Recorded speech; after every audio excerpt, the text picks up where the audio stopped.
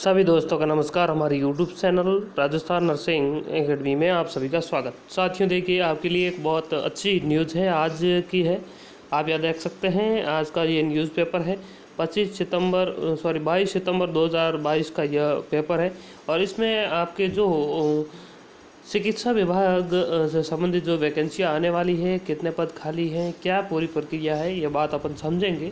तो जो भी साथी हमारे साथ जुड़े हुए हैं, हमारे YouTube channel Rajasthan nursing academy को सब्सक्राइब कर लें। देखिए साथियों यहाँ देखिए चिकित्सा कर्मियों के अड़तालीस हज़ार सात सौ इकसठ पदों में से नौ हज़ार छः सौ तीन पद खाली है।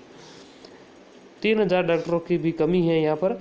और यहाँ पर इन्होंने बताया है किसमें कितने पद खाली यहाँ आप देख सकते हैं। नर्स ग्रेड द्वितीय यानी स्टाफ नर्स के कुल मिलाकर छब्बीस सौ पच्चीस पोस्ट खाली है। तो बारह सौ पोस्ट पर बात चल रही है वैकेंसी आने की।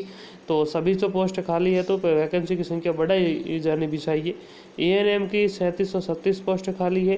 फार्मास्टिक की दो हज़ार सतहत्तर पोस्ट खाली है। रेडियोग्राफर की सात सौ उनसाठ ई सी जी एक सौ पचासी और डेंटल टेक्नीशियन की एक सौ आठ। सबसे ज़्यादा नर्स ई एन एम और फार्मास्टिक की ज़रूरत, लेकिन पद सर्वाधिक रिक्त।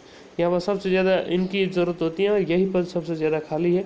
बाकी सुरेश कुमार नवल, निर्देशक अराजकती पत्रिका शिक्षा विभाग, इन्होंने बताया कि खाली पदों पर भर्ती प्रक्रिया जल्द शुरू होगी, विभाग इस पर काम कर रहा है। देखिए, इन्होंने ये बताया तो अब देखते हैं कहाँ तक, कब तक विभाग भर्ती आती है। बाकी यही सब यही बोलते हैं कि जल्दी भर्ती आने वाली है। बाकी राजस्थान सीएसओ की भर्ती को लेकर जो बात चल रही थी कि जल्दी ही जल्द आने वाली है, उसका अब तक कोई अतः पता भी नहीं है। काफ़ी दिन पहले एजेंसी से निर्धारित की बात चल रही थी, लेकिन अब तक कुछ भी नहीं हुआ है। तो बस यही न्यूज़ है जो आज के पेपर में थी। खाली पदों के बारे में तो वर्गीकरण आया है और देखिए सोशल मीडिया में भी, न्यूज़पेपर ने भी विद्यार्थियों की मांग उठाई। इसका, इसलिए इनका तहे दिल से धन्यवाद। सोशल मीडिया भी सहयोग कर रहा है। तो जैसे ही और कोई सीएसओ के बारे में न्यूज़ मिलेगी, हम आपको जल्द से जल्द अवगत करवाएँगे। धन्यवाद साथी